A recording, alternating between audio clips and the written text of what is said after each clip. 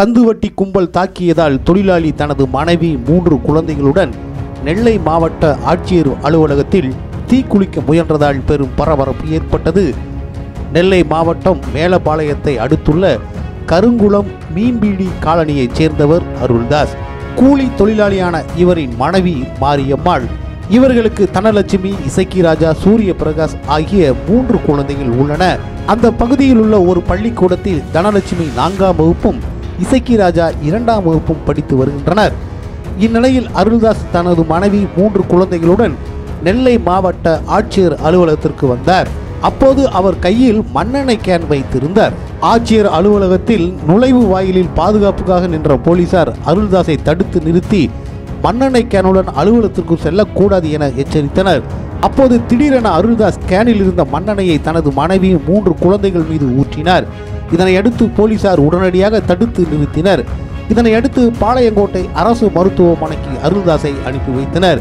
இது தொடர்பாக Palayamkottai inspector Thillai Nagarajan sub inspector Alli Arasan ஆகியோர் வழக்கு பதிவு செய்து விசாரணை மேற்கொண்டு வருகின்றனர். கடந்த இரண்டாயிரத்தி பதினேழாம் ஆண்டு செங்கோட்டை அருகே உள்ள காசி தர்மத்தைச் சேர்ந்த இசக்கிமுத்து என்பவர் கந்துவட்டி கொடுமை காரணமாக தனது குடும்பத்துடன் நெல்லை மாவட்ட ஆட்சியர் அலுவலகத்தில் தீக்குளித்து தற்கொலை செய்து கொண்டது குறிப்பிடத்தக்கது.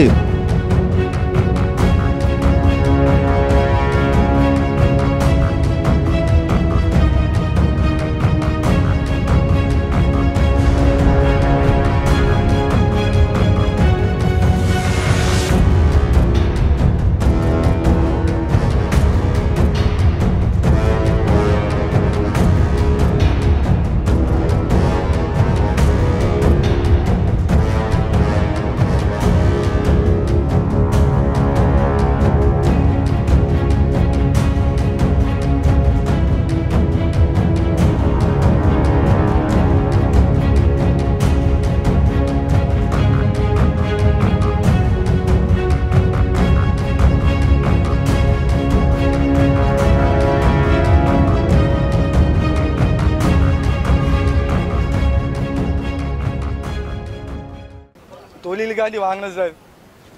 தொழிலுக்கு வாங்கின இடத்துல எனக்கு ஏகப்பட்ட நஷ்டமாயிட்டு. அதில் அதில் ஒரு அஞ்சு வருஷமாக நான் வட்டி கொடுத்தேன். முதல் என்கிட்ட வாங்கின வந்து ஒரு பிசா வட்டியும் போட்டு தான் எழுதி வாங்கினாங்க. ஆனால் வந்து அஞ்சு பத்து பிசா வட்டி மாதிரி நான் அஞ்சு வருஷம் கொடுத்தேன். இந்த அஞ்சு வருஷத்துக்கு அப்புறம் இப்போ ஒரு ஆறு மாதமாக என்னால் கொடுக்க முடியல. ஏகப்பட்ட நஷ்டம் வெளியில் சொல்ல முடியாத பிரச்சனைகள். இதனால என்னால் கொடுக்க முடியல.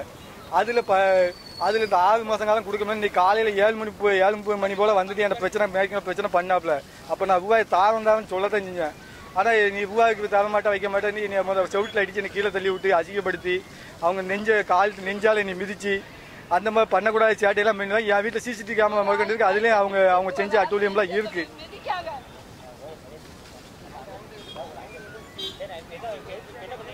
என்னால் இப்போ ஆட்சி தலைவர்கிட்ட தான் எனக்கு பெட்டிஷன் கொடுக்கணும்னு வந்துட்டேன். நான் மேலே பிள்ளை ஸ்டேஷன் போங்க நான் மண்ணெண்ணெய் ஊற்றி கொளுத்தணும் சார் பிள்ளைகள் குடும்பத்தோட சாவணும் முடிவாயிட்டேன் சார். அந்த மாதிரி ஆயிட்டு. என்னால் முடியல.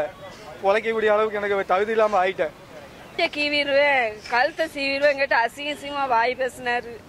பேசிட்டு சரி பிரச்சனை முடிஞ்சிடும் அப்படி கேட்டு நான் வீட்டுக்குள்ள போயிட்டேன். ரெண்டாவது போட்டு போட்டு ஒரு ஆளை வர வச்சு ஒரு பையனை வர வச்சு அந்த பையனும் சேர்ந்து அடிச்சு கீழே படுக்க போட்டு கீழே படுக்க போட்டு அவன் கழுத்தை பிடிச்சிருக்கான். அந்த ஆளு நெஞ்சில மிதி வாங்கி வாங்கி மிதிக்காரு இந்த வட்டி வாங்கணும். அஞ்சு வருஷமா நாங்கள் வட்டி கொடுத்தோம். கொடுக்கல. ரூபா கொடுக்க மாட்டோம்னு சொல்லலை. கொடுப்போம் கொடுத்துருக்கோம். வந்து அஹ், தராத வந்து சண்டை போட்டு அடிச்சு அடின்னு அடிச்சுட்டாங்க.